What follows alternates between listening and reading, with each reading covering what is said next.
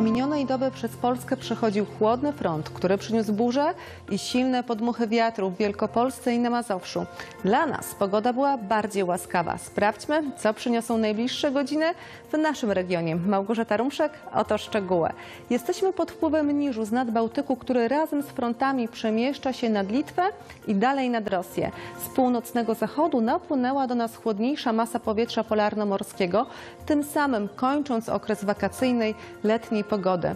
Jutro po przejściu niżu nad Rosję dostaniemy się w niewielki obszar podwyższonego ciśnienia z nad południowo-wschodniej Europy i pozostaniemy pomiędzy dwoma niżami z nad Rosji i z nad Morza Północnego, który w sobotę przyniesie opady deszczu. Noc będzie pochmurna, przelotne opady deszczu będą już zanikać, okresowo lokalnie pojawią się większe przejaśnienia. Wiatr początkowo jeszcze umiarkowany, a nad morzem dość silny będzie tracił prędkość. Temperatura od 11 do maksymalnie 16 stopni nad samym morzem.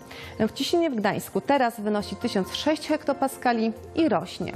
Jutro zachmurzenie duże, ale są też szanse na większe przejaśnienia lokalnie na północy i na zachodzie regionu. Pojawią się słabe przelotne opady deszczu, powieje słaby i umiarkowany wiatr. Na termometrach od 18 do maksymalnie 20 stopni w okolicach Kwidzyna. Ciśnienie będzie wolno spadać. Na Bałtyku w nocy początkowo wiatr, głównie północno-wschodni, skręcający na południowo-wschodni, będzie wiać maksymalnie do 6 stopni w skali Beauforta i będzie coraz słabszy. Jutro południowo-wschodni i południowy nie będzie wiać mocniej niż do 4 stopni w skali Beauforta. Dziękuję za uwagę, przyjemnego wieczoru, do zobaczenia.